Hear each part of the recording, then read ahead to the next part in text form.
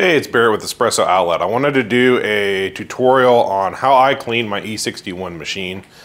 I have this Rocket Giotto. It's an older machine, but it's still running perfect for me. Uh, we pull a lot of shots as we do our videos, so sometimes it doesn't get the proper back flushing and cleaning that it should get. So today we're going to show you how to pull the shower screen off, maybe replace your group head gasket. I like to unscrew the little distribution screen and clean it. I recommend having a nice espresso machine cleaning brush like this one. And you'll probably need like a flathead screwdriver to take it apart. So let's get started. Okay, so typically you'll get a little bit of buildup around the outer edge, uh, usually on the screen itself. Maybe you're wanting to upgrade to one of the IMS screens, or just replace your group gasket. So to get started, use a flathead screwdriver and I like to align it in the ear grooves. And there's usually a little lip on the sides of the shower distribution screen. I like to start on one side, pull down a little bit, and then go to the other side. And usually it doesn't take much for it to just come out. Let's take a look. It's really not that dirty, uh, despite how much I use it. Okay, so now that we have that taken off, you can see how we have our silicone gasket. I do recommend, even on a new machine, I like to put a silicone gasket on. It just glides into place so much easier. Some people say that their rubber gaskets crack. I've never had one wear out on me yet. Uh, I think they're more of a problem on like maybe some of the Gaggia Classic Pros. On this machine, I used it for years before I just upgraded to the silicone and it was well worth the $8 investment. To take the screen itself off, simply just pushes out. So it's really easy to do. I recommend getting some espresso machine cleaner and using a brush like this and scrubbing all of the oils out of this. It'll make a big difference. Next, let's take the, the center screw out. That seems to be where I typically get the most buildup. Uh, I do back flush my machine regularly, but I usually just back flush with water. And the reason I do that is it seems like whenever I use the harsh detergent, it starts to wear away the grease that they put into your three-way valve. So at least for me, you'll get a squeaky handle, it starts squeaking.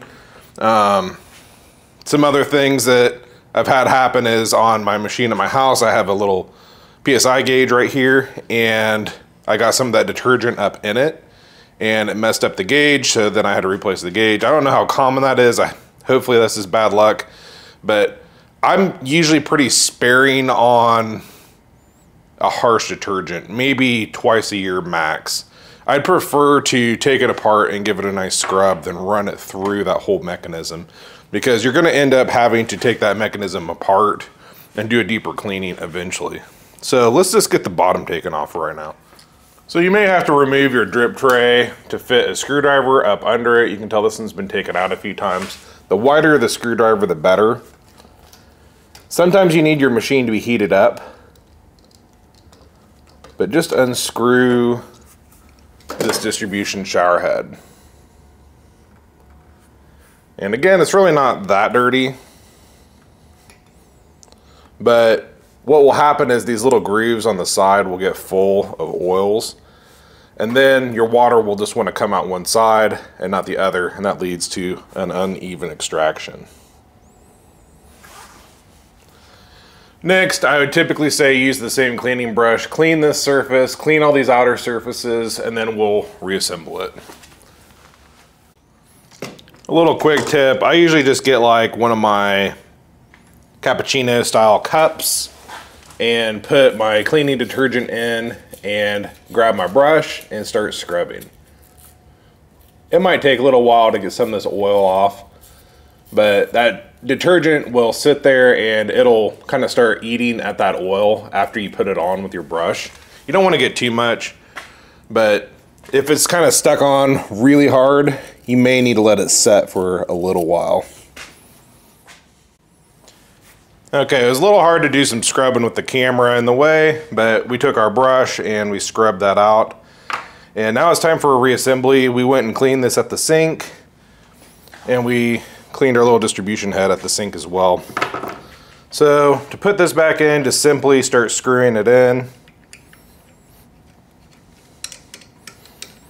You don't need to get it extremely tight, you really don't. Take your screwdriver and just snug it up.